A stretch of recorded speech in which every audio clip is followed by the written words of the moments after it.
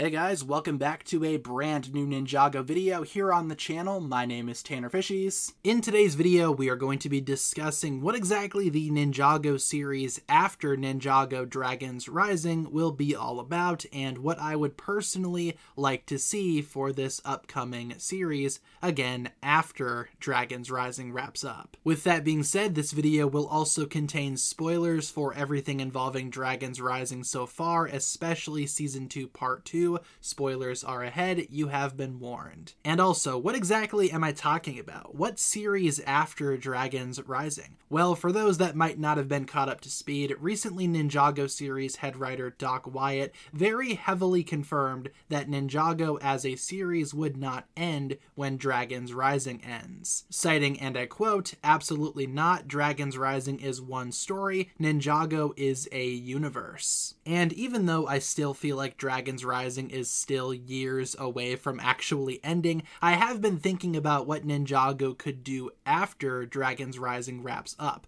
What exactly could they do for another Ninjago series following Dragon's Rising? Well, let's discuss my pitch. So, this idea is to actually do a prequel after Dragon's Rising wraps up. Not a sequel to Dragon's Rising as it is, but a prequel predating not only Dragon's Rising, but also the original Ninjago Masters of Spinjitzu TV series. This prequel could focus on all of the characters that we've seen from flashbacks. So, Wu, Garmadon, Ray, Maya, a lot of other characters as well that we've seen throughout Ninjago's history. The series itself could retell events that we've seen through flashbacks from previous Ninjago storylines, adopting a lot of those stories but expanding them, ultimately giving us more context and elaborating on events that we've seen from Ninjago's past. Because as a longtime Ninjago fan, a lot of Ninjago history greatly intrigues me, and I feel like there is a lot of untapped potential here to again expand on these flashbacks and make them their own storyline in and of themselves. Of course, I do have some restrictions that I feel like this theoretical series should rely on. For example, this prequel series should rely just on expanding flashbacks, not really retelling events that we've seen in other forms of Ninjago media,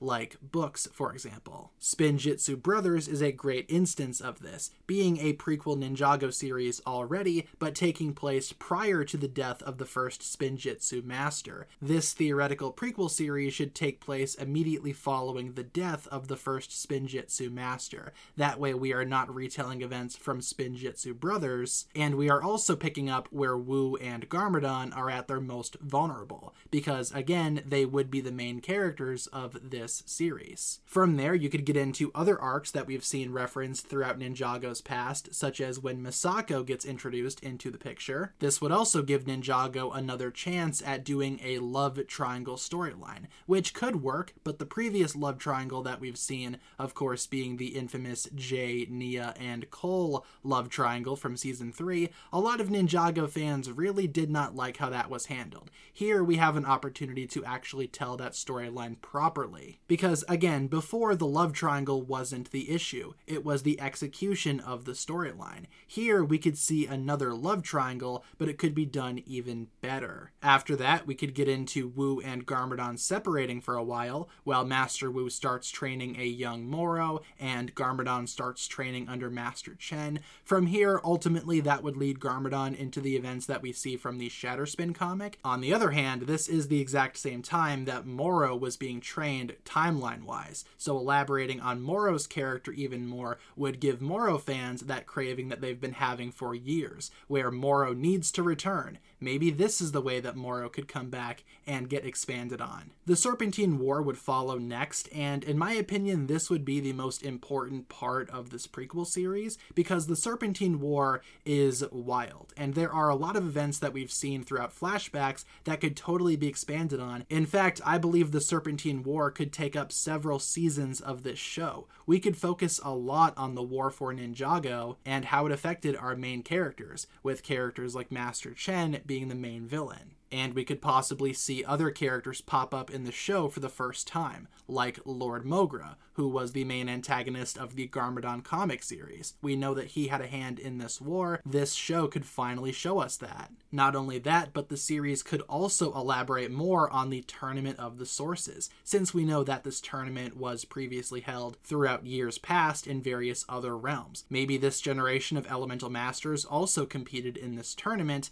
This series could explore that and also give us a proper tournament arc with a clear winner, which is something that Ninjago has yet to do, because there's always some type of villainous subplot going on. Again, this could provide that opportunity. Ultimately, the series would end with the battle between brothers, the final showdown between Wu and Garmadon at the monastery for control of the golden weapons. We could see the events of Garmadon getting struck down to the underworld, maybe even having Master Wu inform Misako of this event. Misako might be pregnant here, she might have already given birth to a young Lloyd. All of this could tie in extremely well, and we could see this all for the first time rather than just hearing about it. I know we had the battle between between brothers short before, but again, that is a short. We could dedicate a whole arc of a TV series to this event because, arguably speaking, this is one of the most important events in Ninjago history. That's what I would do in terms of a structure. In terms of models and animation, I would love for Wu and Garmadon to adopt the looks that we are more familiar with nowadays, with Wu looking more like Wu from Ninjago Hunted, and Garmadon being tweaked slightly to look more like Lloyd. I know that their classic design designs are, well, classic and iconic, but I feel like for the timeline to make sense, we might need to retell these events using updated animation models and updated designs that allow the timeline to flow more properly and smoothly. Doing a prequel would also pave the way for more Ninjago lore to be expanded on, and it could possibly show us a whole bunch of new antagonists that we have not seen before from Ninjago's past. And for another thing, like I said earlier with Moro, this could allow for classic Ninjago Ninjago villains to finally make their way back into Ninjago canon without needing to bring them back somehow for the modern day. A lot of longtime characters that fans would love to see return, like Moro and the Time Twins, could show up here and not only satisfy Ninjago fans' cravings, but also satisfy the current time period. Not only that, but this would also be pre merge, meaning that this would establish a nice back to basics approach for the Ninjago series, really only taking place in the realm of Ninjago, possibly exploring other realms too, especially if certain storylines would need to be addressed. I feel like once Dragons Rising ends, a nice back to basics approach would be pleasing to a lot of Ninjago fans out there. Also, probably the biggest benefit of doing a prequel like this would be to go back and give more context and more character to some of the older elemental masters, including Ray, Maya, Jay's biological mom as well, because again, they would be the main characters. This would also give a lot of opportunity for older mysteries to finally be solved. And also, from the perspective of LEGO sets, this also has the opportunity to bring us back to classic Ninjago, featuring a lot of temples, ancient looking structures, even some dragons thrown in there too for good measure. I think this has the opportunity to generate a lot of what Ninjago fans love about classic Ninjago without rebranding to like Ninjago Legacy. And sorry if I'm listing off just so many things that this prequel could accomplish, but I feel like this is a very, very strong idea.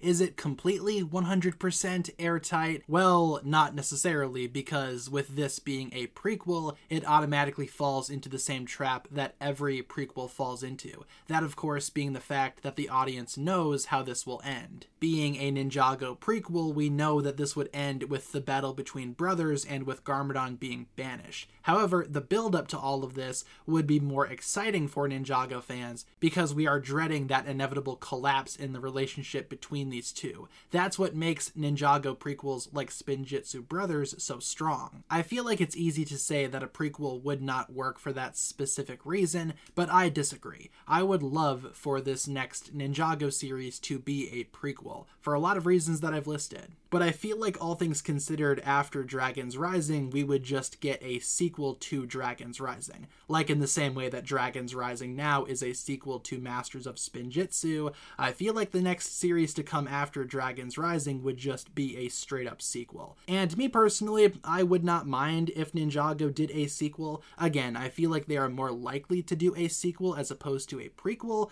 but as a longtime fan of Ninjago history, a prequel series would be awesome, and it's hard to deny that I would love that more than anything. But overall, guys, that'll pretty much wrap it up for my thoughts here. Just wanted to really quickly hop on here and talk about my ideas for a theoretical Ninjago series that would come out after Dragon's Rising. Remember, Dragon's Rising is not the end of Ninjago, so there will be something inevitably down the line, but what do you think that should be? Should it be a prequel, or maybe a sequel to Dragon's Rising, or perhaps something else entirely? Leave all your thoughts down below, and thank you so much for tuning in. If you guys enjoyed this one, feel free to like and subscribe, do all that fun stuff, and I will talk to you guys again very, very soon. Peace.